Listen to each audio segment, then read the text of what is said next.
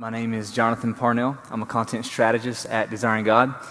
And uh, today we're bringing the broadcast live from Bethlehem Baptist Church here in Minneapolis, Minnesota. And our guest on today's broadcast is Bob Kauflin. Uh, Bob is the author of the book Worship Matters uh, Leading Others to Encounter the Greatness of God, published by Crossway Books in 2008. Uh, we have a few copies of these books back in the back, so you guys check those out when you leave. And uh, also, Crossway Books is our uh, ministry partner for this broadcast. Uh, Bob is the uh, uh worship uh, leader and worship music development guy at Sovereign Grace Ministries, where he also trains pastors and, and, worship leaders in the you know, theology and practice of, of worship.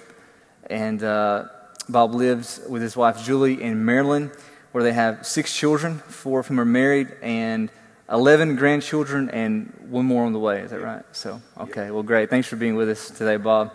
And we'll just get right into it. i love for you just to just open up and just share a little bit about how you came to Christ and settled into the role of, of worship leader and thinker. Wow. Uh, I was raised Roman Catholic. I was going to become a priest. Didn't. Um, went, actually went to junior seminary freshman in high school. Um, the seminary shut down, so I never pursued that. When I got to, but I was spiritually minded, always spiritually minded, like read, read the Bible and stuff. Um, when I got to college, a guy from Campus Crusade, the ministry Campus Crusade, pursued me in my dorm room and uh, kept, kept coming around and said, Hey, will you meet with me in the student union building? I want some things to, have some things to share with you he just shared, I think, the four spiritual laws. I mean, I didn't know what the four spiritual laws were at that moment. He, he, uh, used Romans, Romans 3, Romans 6. And um, I remember as he was sharing this transformation taking place in my thinking that salvation and the forgiveness of my sins was not something that I could ever lose if Jesus died to purchase it for me. So he said, you know, the gift of God is eternal life. The wages of sin is death, but the gift of God is eternal life through Jesus Christ our Lord. He said, if, if I give you a gift, did you earn it? No, I didn't earn it. Did you, will I take it back? No. It's, you have it, it's yours. And in that moment, I remember walking away from the student union building going, if I missed that in my Bible, what else have I missed? So it wasn't, it wasn't dramatic. I had an experience a few years later that was more dramatic. But I really believe that's the moment that October of 1972, so that's almost 40 years ago, um, when I saw the gift that God had given me in Jesus Christ. Uh, so from there, I was graduated from college three years later. I went to Temple University, majored in piano was part of group GLAD for eight years, uh, left the road in 84, became a pastor for Sovereign Grace Ministries in 85, helped plant a church in 91. Um, and then 97, I, was, I came up to Gaithersburg, Maryland, where I currently am working for Sovereign Grace Ministries, and uh, had this current role. I guess all the time I'd been a pastor, the 12 years I'd been a pastor, I'd been involved with the music um, leading, leading congregational song at conferences and in the church. And so when I moved in 97, it was basically to oversee the, the development of the music in Sovereign Grace churches. So that's what I've been doing for the last 12 years. Began by reading a few books, sorry, last 14 years, re- reading a few books that were crucial to my understanding. Engaging with God by David Peterson, Music Through the Eyes of Faith by Harold Best, and uh, Adoration in Actions, a book edited by D.A. Carson. So those had a profound effect on uh, the way I lead and the way I think. Thanks for sharing. Uh, about your book, uh, you share about early on as a worship leader, you experienced this, uh, this a difficult stretch of just hopelessness and really fighting hopelessness and you talk about how God uh, brought you out of that, of that uh, kind of difficult season with a, a, fresh awakening of the gospel. And I wonder if you could just say more about that, and uh, especially for those who may be going through a, a, similar difficult season now as worship leaders. Wow. Uh, yeah. In 1994, I had been a pastor for nine years, and had, we had planted a church, and uh, I, I basically went through what would be called a nervous breakdown. I think some people refer to it as that. I, I panic attacks, physical symptoms, emptiness in the chest, tightness, itching on my arms, uh, hopeless thoughts every day. That went on intensely for about six months, t- totally for about two and a half years, two and a half, three years. Um, during that time, I began to wonder should, should I go on drugs? Should I um, you know, quit being a pastor? I just had a lot of questions. And I thought, you know what? I'm going to see first if the gospel is really true. And, and this isn't a, a uh, you know, for those of you who, are, uh, who might be taking medicine, I think sometimes medicine is helpful for people to just get their mind straight, to be able to think. Um, but I, I, didn't take that. I just, I just wanted to find out if the fact that God sent Jesus to die for me really made a difference and that he was supposed to be my rock and my father and my shield and my refuge, if, if those things were really true, because I didn't feel like he was. So, probably the transforming moment for me, I mean, it was over a long period of time, was when I was talking to a friend, a fellow pastor, and I said, I feel hopeless all the time. He said, I don't think you feel hopeless enough. And I said, I said, what? He said, well, if, if you were hopeless, you'd stop trusting in what you can do and start trusting fully in what Jesus Christ has already done for you in dying and rising from the dead to reconcile you to God. So I knew he was saying something true, but I didn't quite get it. Um, but this is what I did. Every time I'd feel hopeless, I would say to myself, I feel completely hopeless. I am completely hopeless apart from Jesus Christ. But Jesus died to save hopeless people. And so the more I did that, and I was reading books like uh, Temptation and Sin by John Owen, The Disciplines of Grace by Jerry Bridges, which were helping me to understand the gospel, helping me to understand the, the pervasiveness and deception of sin, as well as the full and complete answer that God has provided in sending Jesus to live the life I could never live, to die a substitutionary death, dying for my sins in my place, rising from the dead, to understand how significant that was. So I began to see I'm a much worse sinner than I thought I was, and Jesus is a much greater Savior than I thought He was. And those two have affected my life to this day. So that's, in a nutshell, how that, uh, how that happened. Yeah, that's helpful. Thank you for for that. In the book, you talk about. Um, I really appreciate this section. You talk about the uh, the life of the worship leader, and uh, kind of outside the weekly gathering, and you know that's uh, that's where most Christian life happens. It happens outside the the, the Sunday morning service, and so. One question I'd like to hear you uh, just kind of work through is, is how we, we maximize the meaning of the event of a worship service without distracting from the everyday worship and mission of the church. How do we, um, how do we tie the two together? Yeah, the, that be? the event of worship and then the everyday worship of the church. How do we, the tension there? Okay, yeah.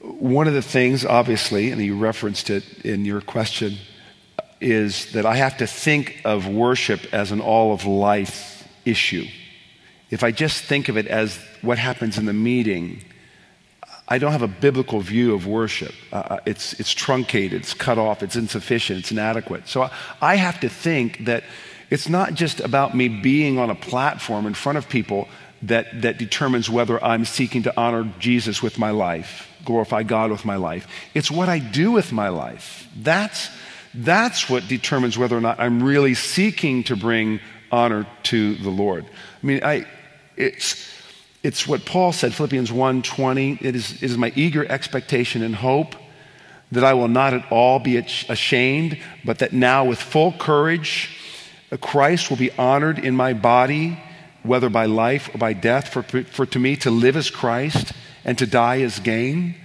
I have to really believe that. I have to really be pursuing that for me be able to, to be able to genuinely and effectively make that connection for people. So that'd be the first thing.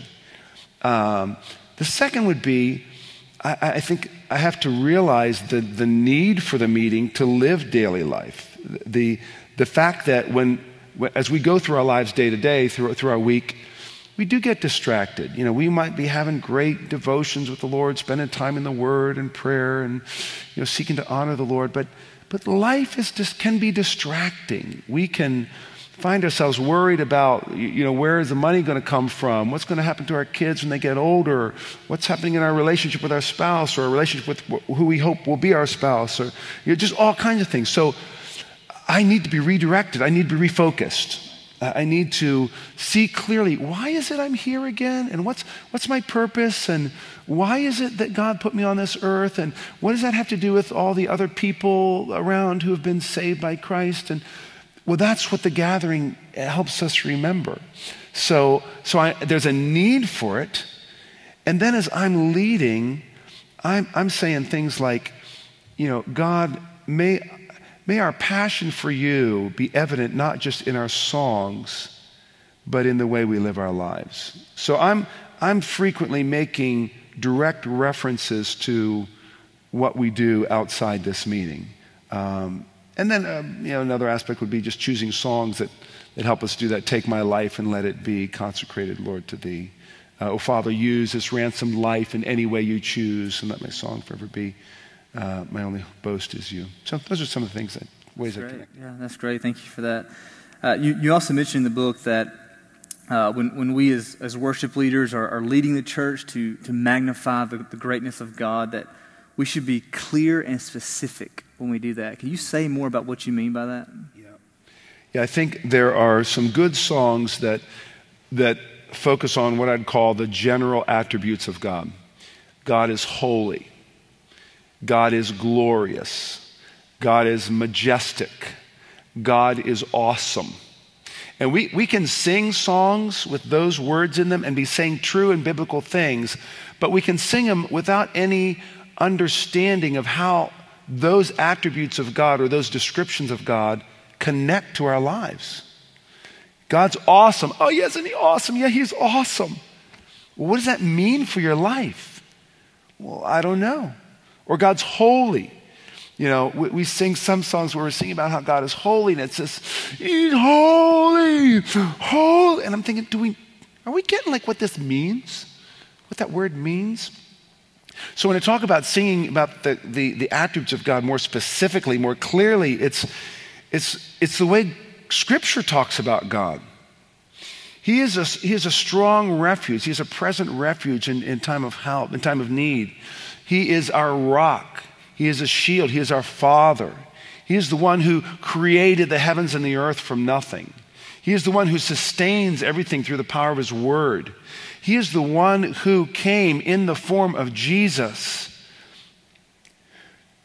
incarnate God, to, to live a life of righteousness that we could never live. This is very specific. Like when I'm feeling bad about how I can't meet God's you know, standards. Well, good. You should feel bad. You, you will never meet his standards. Jesus did.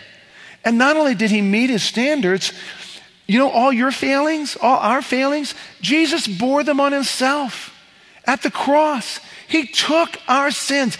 He made him to be sin who knew no sin. 2 Corinthians 5:21 so that in him we might become the righteousness of God. That's very clear, it's very specific. Oh, and by the way, the Father raised him from the dead. Just in case you were wondering, did that work? Was it effective? Oh, yes. He's a living Savior. In fact, right now, He's on the throne. He's interceding for us. So, a lot of pictures and images and words and phrases that, that some of the better hymns use, we've kind of lost in our, our current repertoire of songs. So, I'm pressing for let's use the hymns and let's write more songs that describe in detail who God is and what He's done. That's great. One thing I'm you, sorry, I get excited. No, that's great. That's, you know, one thing you also say, which uh, is, is tied to this, is how you, you, you talk about the importance of explicitly mentioning Jesus in in your songs. And and uh, you mentioned a few, uh, a couple great hymns that we all love. Um, it is well, Amazing Grace, and you comment that and we love these songs and we connect with these songs, but they're not actually as specific about Jesus as maybe we would want them to be. So how do you handle songs like that? Good. Well, just for, just for clarification, it as well does reference the atonement. It's uh, when I survey the wondrous cross okay. that it talks a lot about it, but it never tells you exactly what happened. Uh, how, do I, how do I handle songs like that? Um, well, I think they're great songs. I mean, When I Survey is one of the greatest songs in the English language, greatest hymns. At least a lot of people think it is. And uh, it's worth singing. But we shouldn't assume that people know what it means just by singing that song alone. When I survey the wondrous cross, well, the, the, it begs the question what makes it so wondrous? It's, it's, it's not just wondrous because we see, we see Jesus dying on, on a tree, on a cross. It's wondrous because it, it, more than any act in history, displays the character and attributes of God. It displays, displays His holiness and His love and His mercy and His justice and His wisdom. And so I need other songs, or at least I need to be able to say, to help people understand why that cross is so wondrous and not assume that they get it. Because when we assume that people get the, the cross and the meaning of the cross, it's, it's only a matter of time before it becomes um, symbolic for whatever we want it to mean. So the cross becomes just a way of saying that God loves me or that you know, God loved me so much that uh, if I were the only person in the world, Jesus would have come to die for me. Well, yes, he would have come to die for you, but that's because your sins alone were enough to require the death of the Son of God, all by themselves. So it's a different way of looking at it. So, uh, yeah, use those songs. Amazing Grace, we sang it this morning earlier in the seminar. But we had already sung a number of songs about why the cross makes a difference in our lives. Exactly. Thank you for that. I appreciate that section in the book. Also, you talk about um, in corporate worship the, the idea of anticipation, like how we um, bring anticipation into corporate worship. How does that play out? What does that look like? Well, just so people are listening are clear, anticipation of, of what's yet to come, of what's coming in the new heavens and the new earth. I, I think with the advent of technology, the dawning of technology, and how we can use it in our meetings today, and, and it maybe preceded that, but it's especially prevalent because of what, what's available to us technologically. I think we can fall into the misconception that we're seeking in our meetings to create some kind of experience that, that uh, is heavenly, that, that manifests uh, the glory of God in a way that's just like heaven. There's some truth to that. You know, Hebrews 12 says that when we gather, we're gathering with the hosts of, of, of, heaven, of heaven, you know, the innumerable angels and, and uh, you know, we, the, uh, yeah, all those people in Hebrews 12. Um, but that's not our goal, is to create those kind of experiences transcendent experiences which just make us, make us long for more of those experiences here on earth. That should make us long for heaven, the new heavens and the new earth. We get a picture of it in Revelation, a partial picture, but, it, but there we'll have, we'll have new minds, we'll have glorified bodies, we'll have uh, more strength, we'll have unlimited time. So it will be different. And we should never think that what we experience here is, is all there is. It should leave us with a longing to know Christ better, to know God better, to love Him more.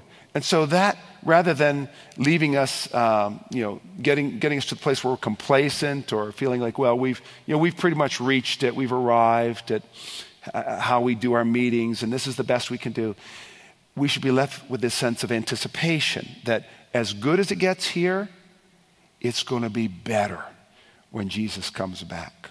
So that, that, that keeps us always longing for, anticipating what's yet to come, which I think is the way you know, we, we, are those who, who, long for his appearing. And that's, that's one of the ways that that takes place. Well, kind of staying on this subject, how, how do you think uh, worship is going to be different in the new heavens and new earth? How? Well, that's a great question.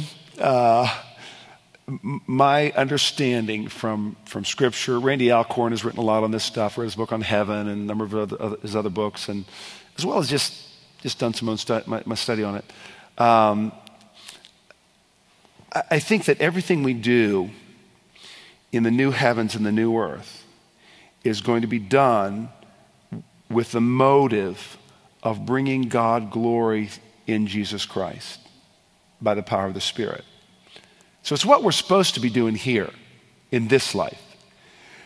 Do everything, you know, whatever you do, whether in, in, in word or deed, do everything in the name of the Lord Jesus Christ, giving thanks to God the Father through him. Well, that's what we're supposed to be doing, but we're not yet. I think in the new heavens, the new earth, we will. So, so we'll be doing a lot of things that we're doing now. You know, we'll be doing work and we'll be doing, we'll going places and visiting things and probably still playing instruments and doing all that kind of stuff. But there will be no envy. There will be no hopelessness. There will be no despair. There will be no anger. There will be no impatience. There will be no comparison. And, and there will be no running out of strength and we'll have better minds to understand who God is. And as John shared earlier, we'll, we'll be always growing in our knowledge of the God who created us and redeemed us for his glory. So that's, that's what I'm looking forward to. And, and when we sing in the fourth verse of uh, Come Thou Fount, Oh, that day when freed from sinning, I shall see thy lovely face. That so moves me because I so want to be there. Freed from sinning.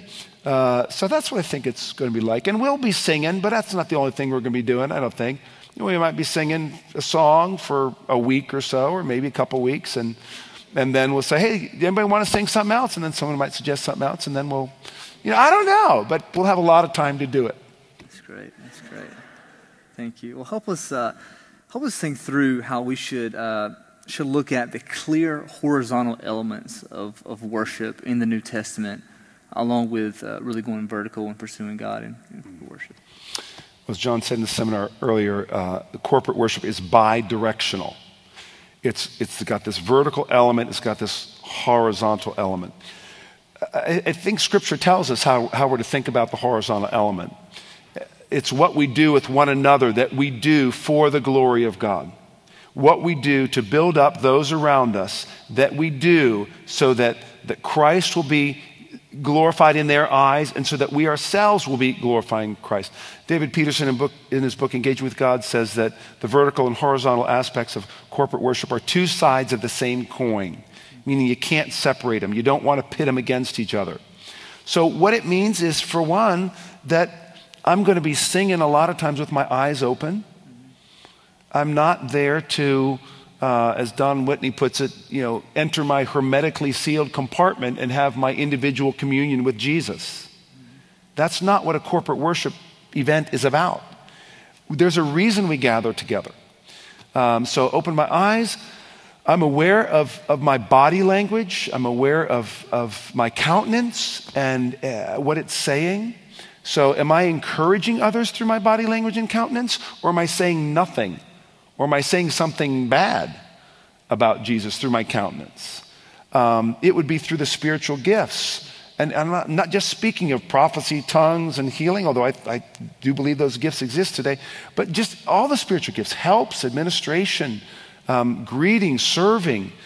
I want to find a way to use those when I'm gathering with the people of God and recognize that that is a way of bringing glory to God. And I don't think we need to be uh, paranoid about kind of interrupting the flow of worship.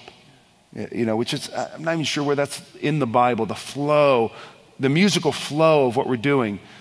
Very often, a word of instruction, a word of exhortation, a word of explanation can help people engage with their hearts more fully. Some people would say, well, no, you're breaking off the vertical. Well, I think I'm helping the vertical aspect of what we're doing. And in so doing, I'm seeking to build others up in order that we may together see the glory of God in Jesus Christ more clearly and love it more passionately. Let's uh, back up just a little bit, ask you a bigger question about um, why do humans sing anyway? Every culture, you, you see it. What, what's behind that, and what happens when we sing? Wow. Uh, I, John Piper has influenced me in my thinking about this. So has Jonathan Edwards. Um, I read a book called This Is Your Brain on Music by Daniel Levitin. Fascinating book. Um, when we sing, we actually use uh, primarily a different part of our mind. So it, it, affects us differently. You might be familiar with Mel Tillis, who's a country singer who, was who stuttered when he spoke, but sang without stuttering. Um, I think we sing because there are emotions and, and, and truths. Let me put it this way there are truths that require more than just speaking to respond to. And the truths don't have to be profound. You know, like when, you, when you're at a football game, a college football game, and everybody sings the fight song. You know, I was at a University of Tennessee football game, which is quite a spectacle, and, and they sang Rocky Top. Good old Rocky Top, Rocky Top, Tennessee. You know, it, it, was, it was not a profound moment, but it was a unifying moment. And because everybody was singing the same words at the same time with passion which brought this solidarity to what, what the group was there to do. What they were there to do was see their team trounce the other team, which they didn't in that particular game. But singing brought that sense of, uh, you know, we're in this together. So, uh, and actually, there's a chemical released in our brains when we sing together that makes us more aware of our unity. I just thought that was fascinating. So, we sing because it expresses things that words alone cannot express. And of course, for the way it affects us and affects others, music is an emotional language. It moves us. So, when we sing, Amazing grace how sweet the sound. It affects us differently than if I just said, Amazing grace. How sweet the sound. It's not necessarily better, it's different. Uh, and there are lots of other reasons we sing. Um, uh, we sing so we can remember. You know, God gave us singing to remember. In Deuteronomy 31, Israel's about to enter the promised land. They're going to give themselves over to idols. So God says to Moses, Teach them this song.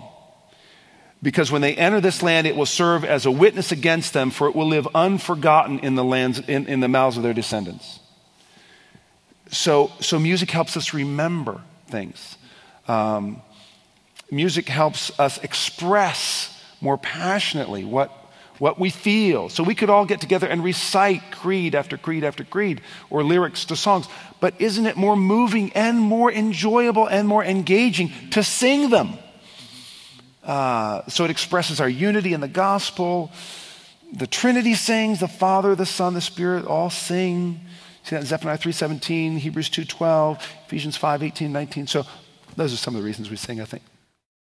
One of the great sorrows of my life and one of the reasons I love the gospel of Jesus so much is because I grew up in this home as a full blooded racist.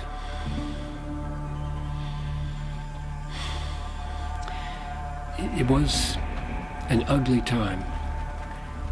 It wasn't beautiful. It wasn't separate but equal. It wasn't respectful.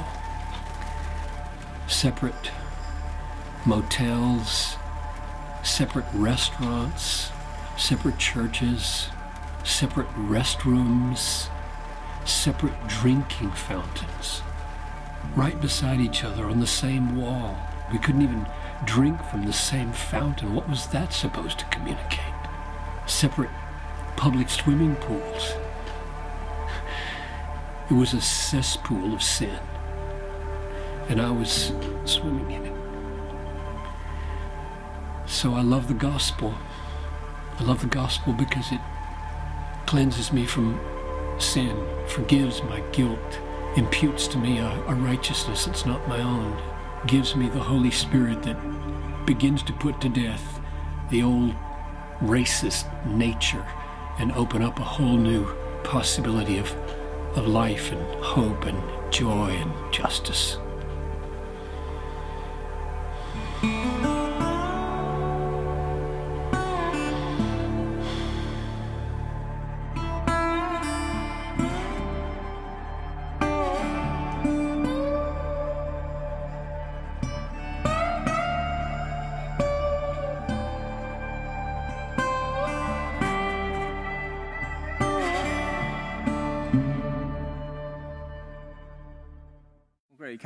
Same subject there. When we think about the corporate gathering, should we should we show favor to our voices over musical instruments, or how, how do we think about song and music? And It's a great question.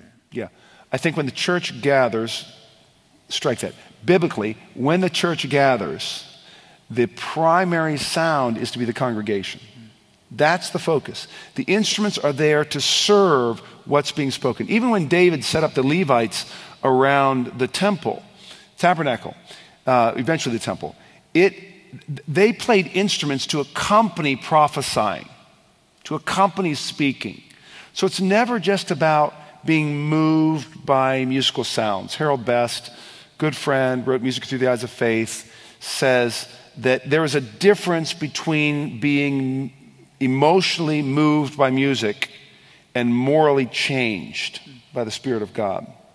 Well, that moral change comes through an, an, an, expression, understanding of, acceptance of, faith in the truth, the gospel specifically, the Word of God. Music by itself can't do that, words can.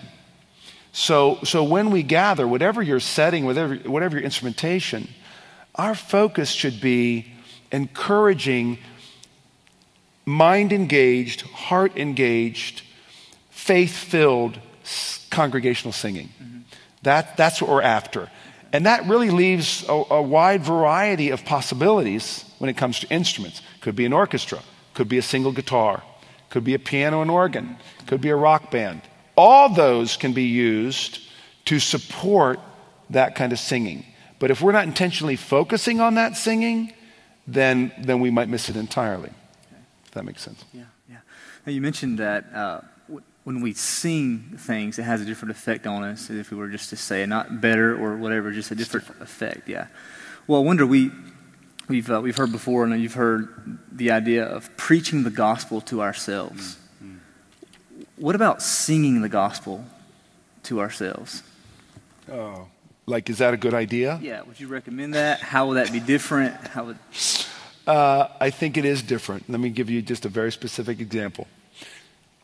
Frequently over the years, uh, well, let me tell you why I think it's different. I think it's different because music has this tendency to move our affections. It has a tendency to affect our emotions. It has a tendency to hear the words we're singing in a different way and perhaps soften our hearts so that, so that they go a little deeper. So, uh, a number of times over the years, I've uh, woken up and uh, in the morning just sung the song Before the Throne of God Above. Because here's what that song does it preaches the gospel. Before the throne of God above, I have a strong and perfect plea. A great high priest whose name is love, whoever lives and pleads for me. Now, be, keep aware, or er, be mindful that all of this is taking place outside of me. I could be in the worst state mentally, mentally, I could be in a great state mentally. It doesn't matter. I'm just singing about what Jesus has done. Um, listen to this for me. My name is graven on his hands. My name is written on his heart. I know that while in heaven he stands, no tongue can bid me thence depart. No tongue can bid me thence depart. So I'm being assured that, okay, Jesus is in heaven interceding for me. From Isaiah, his, my name is graven on his palms. Okay, this is good, but it gets even better. When Satan tempts me to despair and tells me of the guilt within, okay, that happens all the time. Upward I look and see him there who made an end of all my sin. Wow, he did. Well, how'd that happen? Because the sinless Savior died. My sinful soul, yes, is counted free. Why? For God the just is satisfied completely to look on Him and pardon me. Oh, and like I'm, I mean, I'm getting excited now because it's true. It's amazing. It's what I live my life for. It's why I live. But then it gets even better. Can I go on? You know, behold him there, the risen lamb. Again, I haven't done anything. All I've said is I, I, have a sinful soul and I feel guilty. That's my part. That's what I bring. You know, I feel terrible. I'm sinful. I'm always discouraged about my sin. Okay, okay. Behold him there, the risen lamb. My perfect, spotless righteousness, the great unchangeable. I am never changes. The King of glory and of grace. One with himself, I cannot die. My soul is purchased by his blood. My life is hid with Christ on high, with Christ my Savior and my God. What a great way to go into the day. And it's just singing a song, singing a song. and I do that before I read my Bible, you know, because the gospel's true whether I've read my Bible or not. Some of us think that we have to read our Bibles for the, for the gospel to really take effect. Oh, no. No, the Bible, the gospel is true whether or not you've read your Bible. And, and if that's what we struggle with, we really need to hear that. Jesus died for all our failures. Everyone. Motive, thought, word, action. One with himself. I cannot die. It's great news. And so when we sing it, it kind of spells it out clearly. And Can It Be would be another great song to sing. How Deep the Father's Love for Us by Stuart Townend, another great song. So there are certain songs that I'll just sing and I'll preach the gospel to myself. And yes, we should do it individually. And yes, we should do it corporately because we need it every day. Amen. Sorry. Thank you for that. Yeah. You're welcome. Well, in the church today, I wonder if you look, as you look around, uh, what is the, the greatest area of encouragement to you when it comes to uh, leading worship and songs and music? I think there is a modern, what let's call this a hymn revolution under, underway. I think that more and more churches, more and more ministries, denominations are recognizing that God's glory and His Word cannot be adequately or sufficiently expressed in a three minute pop song. That it requires hymns. That is very exciting to me because hymns, uh, which, are, which tend to be deeper in theology and more lyric centric than music centric, although music is very important. You don't want to sing great theology to bad music. You want to sing great theology to great music. But there, there I've heard from a number of different people um, how, yeah, we, we, we're singing more hymns. We, we want to write more hymns. A lot of uh, modern uh, uh, contemporary writers are writing more hymns. Why is that significant? Well, because the gospel's significant and it needs to be explained. It needs to be repeated. It needs to be expounded upon. It needs to be exalted in because our Bibles are important. The Word of God is important. And we need songs that help us teach and admonish one another in all wisdom. Uh, if we don't have songs like that, we, we, if we sing shallow songs, we become shallow Christians. Um, so, so I think uh, that's, that's probably the most encouraging thing I've seen of late. That's great. Well, on the other side of that, what would you, uh, um, what adjustments do you think need to be made? What, what is discouraging or you want to maybe change a little bit? A couple off the top of my head. Um, I don't think we as, as the, the body of Christ as a whole still has enough models of churches that combine a heart and head. I'm sorry, yeah, heart and head, devotion and doctrine, um, theology and affection. They, they, they tend to split, um, and that's not the way God intended it to work. It's, uh, it's both. Uh, so that'd be one, one concern. But there's, there's an awareness of that, and I think a movement towards that. No, the most passionate people sometimes to be, tend to be the people who don't, aren't as clear about theology. And, and the, the ones who are clearest on theology don't tend to be as passionate. So the, the, those need to be brought together. I think an overemphasis and dependence on technology would be a problem for the church, at least the American church, the Western church. It's not a problem in India. Uh, it's not a problem in Africa in a lot of places, uh, China. Uh, but for where technology is easily accessible, you know, this sense that God really needs this to, to minister to people. I mean, the Holy Spirit is, is kind of has his hands tied if, if, if the uh, you know, ProPresenter projection isn't working. Uh, no, no. And here's how I like to think of it God can use our tools, but he doesn't need them. He can use them, but he doesn't need them. And, and whenever we're thinking about ways to incorporate technology in the service, whether that be lights or um, effects, musical effects, um, video, whatever it might be, we just have to be careful that, that we're not teaching people that the creative elements that we use are equal to or even more important than the truths that we're wanting to proclaim together.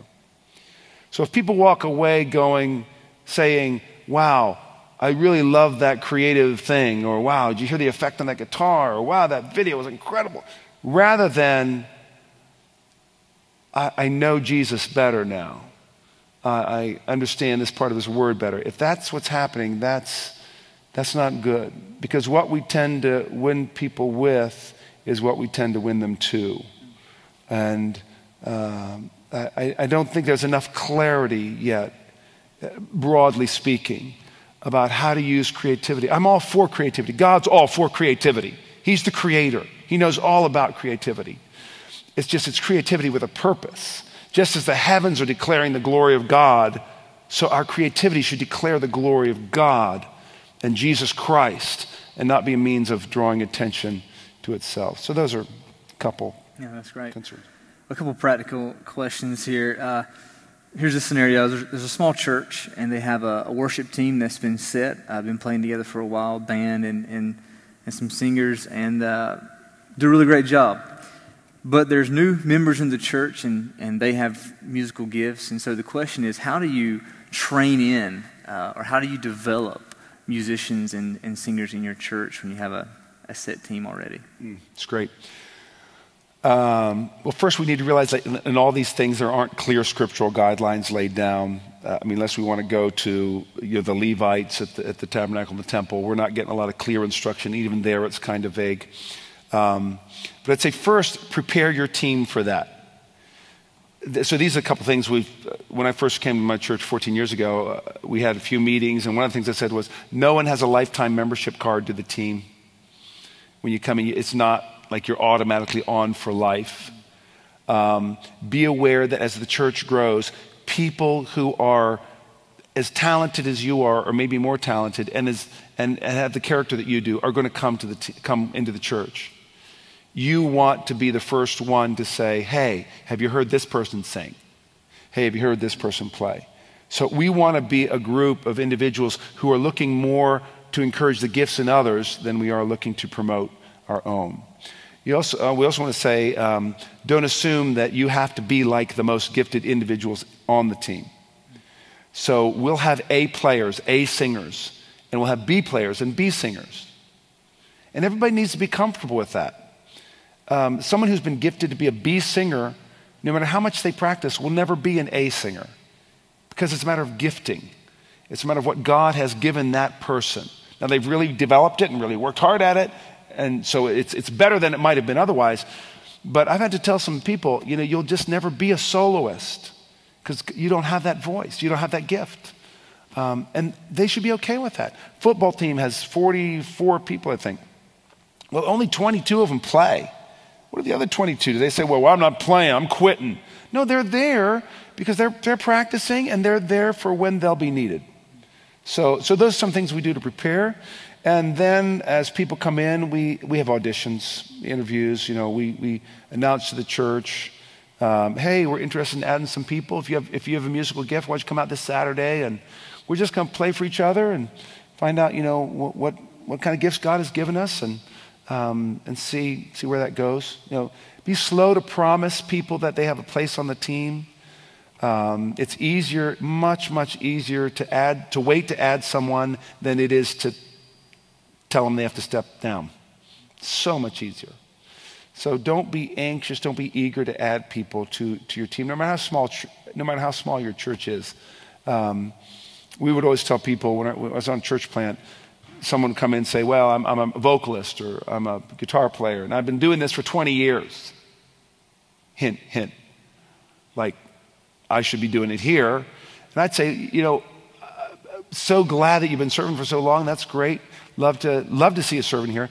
But we'd really like to get to know you first. If you can just kind of hang around and become a part of a small group, and so we can get to know you, can get to know us. We want you here because of you, not just because of your gifts. Well, some people left after I said that. And other people stayed, and months later they would say, You know, thank you so much for saying that to me. Uh, because that just showed me you were really concerned about the most important things. And I know that I can serve here securely and not wonder if, like, uh, uh, there's integrity in the people up front. Um, so those would be some thoughts, I think. I wonder about, uh, as far as advice would go, to uh, some parents who their their children has uh, just outgrown nursery, and so now for the first time they're bringing their their kids into the worship service, um, having a hard time connecting. What advice would you give them on how to train their kids to to enjoy the service and things? Like well, one of the things my wife did, my dear wife Julie, um, when our kids were growing up, uh, would be to take like a song and go through it during the week and go through the words. And, you know, it was amazing how unclear the songs were to the kids. And how when you just started going through it line by line and explaining it, how the next time we sang that song, they'd go, oh, that's that song. And she didn't do it constantly, but just a few times. And that so helped them engage. Uh, of course, having some kind of family devotions at home. I mean, I know some, some families do this every day. We, we never did that. Um, and I respect the families who do. Uh, but just sometimes where you're gathering as a family and saying, you know, this is something we do just on Sunday. We, we do this at home too. We, we sit with God's word and we open it up and we sing a song. And um, make it enjoyable so that when they come to gather with the church, there's an element of enjoyment to it. It's not just, you know, do this because you're supposed to, sit still, don't do anything. Um, you know, we, we try and engage them in whatever ways we could. So that might even mean during the meeting, you know, if, you, if something happens, just leaning over and say, hey, this is, this is what just happened. But just being very natural about it um, and helping them to see that you know, as a Christian, you love gathering with God's people. And actually, a lot of it will be more caught than taught. We've never had too much of a problem getting our kids to love being, being a part of the meeting um, because we love being a part of the meeting. We love being with the church. So you're paying attention, you're engaged, you're passionate, you're, you're responding. Uh, they see that, they'll, they'll pick that up. They may not know why you're passionate about whatever, but you can explain that over time. And uh, I think that'll be helpful. That's great. Um, as far as. Uh, Wait, you're not asking me any follow up questions, so I'm, sh- I'm no, assuming that yeah. I'm answering your questions. Okay, good. Just checking. Thanks. Thank you. Feel free to ask me follow up questions. Okay, great. Well, here, here's also connected to that um, is uh, when you're leading uh, worship, um, how do you think about the cultural and, and social barriers that always exist in every song that you lead? Hmm. Um, you know, maybe even for a church planner, how, how they would think about what type of music you've seen and the demographics and the audience, and how do you, who do you target? Who do you, who do you not? How, how do you? That's a big question. Um, it's got to flow from who you are. So rather than thinking about who I'm targeting, mm-hmm. I'm thinking about how God has made me, what affects me what moves me stylistically you know because that you can't be someone you're not you know if you're playing a church and you're trying to reach out to a group of people that that you're nothing like um, and and yet and, and, so you become something that you aren't well that's only going to last for so long um, and i'm not thinking of, of missionary like foreign cultures completely right here i'm thinking of just say in the states uh, or, or, in another country where you're, you're working with people that, who are like you in many ways, but there's something different about the culture. Um, yeah, you've, you've got to be who you are because it's out of that that you can begin to expand and diversify and as an act of, of preference for others. Um, I think one of the main things I do is to make sure that I'm not trying to make music and cultural things do what only the Word of God and the gospel and the Holy Spirit can do. I mean, I think that's crucial. Mm-hmm. Only the gospel can bring someone to life. Only the Word of God can, can open a person's eyes. Only the Spirit of God can, can open a person's eyes to, to the truth of God's Word. Um, only the Word of God can convict through the power of the Holy Spirit. So, so all those questions of cultural issues, I mean, those, those will get worked out if I'm aware of them. Um, I, I think one of the ways we become aware of them is by loving the people who are coming so rather than thinking of it as a demographic issue, think of the real people who are in your meeting. You know, what do they love? What moves them? What affects them? Uh, and that'll be one part of the equation. The other part is how do I need to, to speak to them and address them in a way that is going to stretch them? Because, I mean, when, when we were part of a church plan, I've people coming in saying, you know, why do you guys do so many wordy songs? You know, I can't worship to wordy songs. Well, that's an attitude that I want to challenge. Not right at that moment, but I, I want to explain well, we're not against simple songs, but we do wordy songs because God has given us words as a way of expressing His glory and communicating His truth. And so that's why we need songs that do that. And I think if you stick around, you'll see that. You'll, be, you'll begin to appreciate the, the, you know, some of the words that we use and that we use in the songs we do.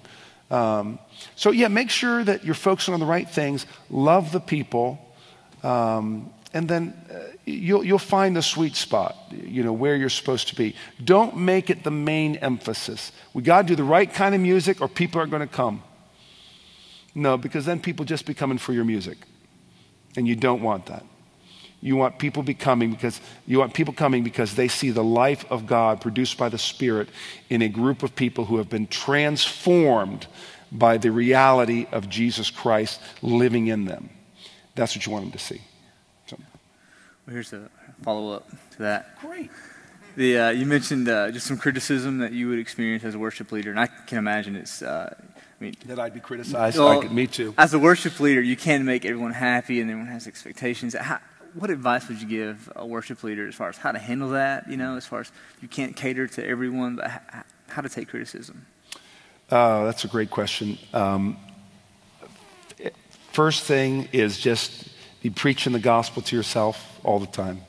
Gospel reminds us that that we're sinners. Jesus is the Redeemer, and we're we're never going to get it all right. Uh, it's as hard as we try. He's the only perfect one. And so we rest in that. Um, if someone, and I don't always do this, in fact, a gentleman came up to me last night. I wonder if he's here. Um, and shared a, a, very helpful thought. And the first, my first impulse was to want to defend myself. And I looked back and go, oh man, you still haven't learned. The first thing you want to do is thank the person for bringing the observation, the, the correction, no matter how they bring it. You know, they might do a terrible job. You know, I just couldn't believe that you sang that song. That's a horrible song. You know, everything in you wants to just go, What do you know? but don't do that. They're, they're caring enough about you and about the church to, to come up and share something with you. That's, that's the Lord's mercy. Then I'd listen, I'd try and understand what exactly it is they're saying. Because I quickly jump to conclusions about what they're saying. Um, you know, you talk too much. Oh, I do not. You should see how much I used to talk. And I know some other people who talk a whole lot more than I do. And you probably don't even want to hear anybody talk. And, you know, those are the things that my mind goes to. And th- those are all judgments. Uh, so ask questions. Thank them. Ask questions to, to try and understand better. Okay, what is exactly your. And then respond. I mean, it might be you just say, boy, thanks for sharing that. Or it might be, um, well, okay, that's, thank, thank you for sharing that. Here, here's how I think about that. So, for instance, someone might come up and say, why don't you do this song? Everybody's doing this song. Why don't we do this song? All we ever do are songs that people don't know. You know, that no one else is doing? Why don't we do songs that people know? And I'd say, well, thanks for sharing that. That's, I'm glad to know how you think about that. And, you know, what do you mean? Uh, that, like people don't know Amazing Grace? No, no, you, everybody knows the hymns. I've been talking about the, the contemporary songs, the modern songs. Like you don't do this guy and this guy. Well, okay, it's not because I'm intending not to do them. I mean, there, there are choices that guide why we do the songs we do. So let me, let me go through those and, and see if that helps you understand why we might not do some songs. Or, and then I might ask, so give me a particular song that you think we should do. And, uh, you know, he might throw me a softball and just say, well, um, Above All by Paul Baloche and Lenny LeBlanc. It's Got, everybody's done that song. And I'd say, well, okay, that's a great song. Um, a lot of great aspects to it, you know, crucified, lay behind us. The only problem is like at the very end of it, and Paul Baloche is a friend of mine, and we've talked about this, so that's why I'm sharing this publicly. And in fact, it's even in my book, which Paul wrote the forward for, so I feel very comfortable sharing this. Um, at the end, you know, uh, you took the fall and thought of me above all. Well, I have just a little problem with that. I have a big problem with that, actually. I, I, I don't think the guys meant this when they wrote it, but it's saying, um, you know, that Jesus thought of me above everything else. That's what it's saying. It seems to be saying, anyway. I, I guess you could understand it some other way, but that's, that's the only way I've seen to understand it. And I don't think he did think of me above all. He, he, he thought of his father above all. And, and because he did that, then we were included in that. I think he did think of me. I think he, he, he died for those who would trust in him. And he knew who those would be. But I don't think he did that above all. So, it's, so that's why we don't do that song here. But it's not that there aren't good things in the song. I don't look down on people who do it. But we want to be very careful about the lyrics that we use and because we think everything's teaching something. So, so I just try to engage them in conversation and not immediately flare up excuse me, in self defense. That's what I try to do. Well, uh, one last question. Just wondering, uh, do you have a favorite song? Is there is there a, hymn or song that uh, we did before the throne, which was great? Before the throne one is one of my top three. special way, yeah. Is there? Uh, certainly, uh, I mean the two that come to mind are "In Christ Alone," which I just never get tired of singing. It tells the story of the gospel, and a song my son wrote actually. "All I Have Is Christ." which uh, he wrote a few years ago. It's my older son. Everybody thinks my younger son wrote it because my younger son rebelled for a while, and a number of people knew that, and so they thought it was this great story as I ran my hellbound race, and you know, but it wasn't him. It was my, my older son. Is kind of like the elder brother. He's always done everything right and been great, but never gotten any you know publicity for it. Um, but he wrote this song, and uh, it, every line is just packed with meaning. And that, that's what makes a great song for me. Every line is packed with meaning. And it, it usually, they, they cause my heart to exalt in Jesus Christ. And they, they make me remember how glorious He is, what He did. He did it for me, He did it for His Father's glory and, and they, they, they stir up those, those affections that are totally appropriate and right for, for Jesus Christ. 2 Corinthians 4 6 says, For God, who said, Let light shine out of darkness, has shown in our hearts to give us the light of the knowledge of the glory of God in the face of Jesus Christ. And for me, the best songs are the songs that help me see that, to help me see the knowledge of the glory of God in the face of Jesus Christ. So there are probably more, but those are, those are three that come to mind. Yeah, that's great. Well, that will uh, conclude our broadcast today. And I wonder, Bob, if you just would close this in prayer. I'd be happy to. Thank Jonathan, you so thank much.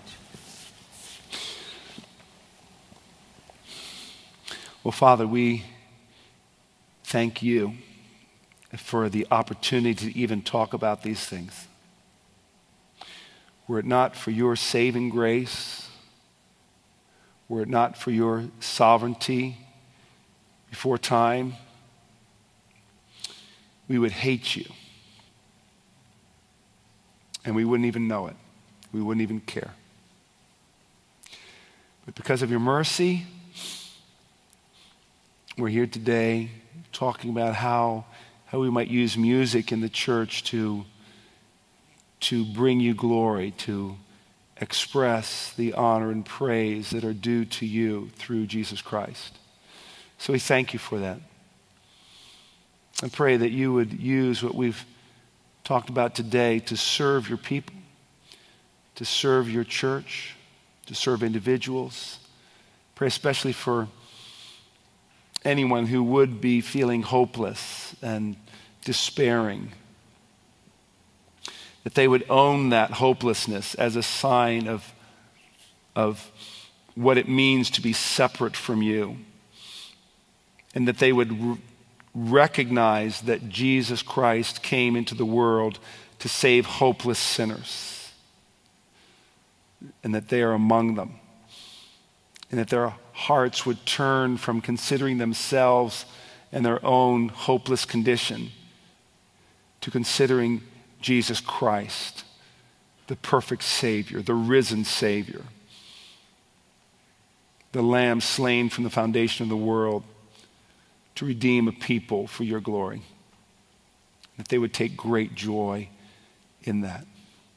So we thank you. We pray that we would continue to grow in our knowledge of you, in our love for you, and that more and more would be added to the numbers, to those numbered among the worshipers of God, your worshipers. And we pray this in Jesus' name. Amen.